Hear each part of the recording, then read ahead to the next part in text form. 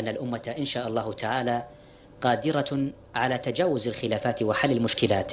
نتابع الآن أيها السادة والسيدات وصول رئيس وفد دولة قطر معالي رئيس مجلس الوزراء وزير الداخلية القطري الشيخ عبد الله بن ناصر آل ثاني مترأسا وفد دولة قطر الشقيقة.